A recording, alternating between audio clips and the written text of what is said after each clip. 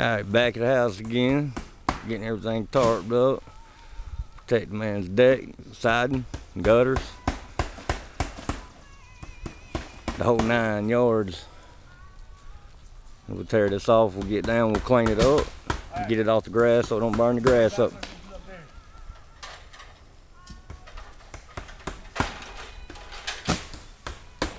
Get this ridge cap off. We get harnessed off.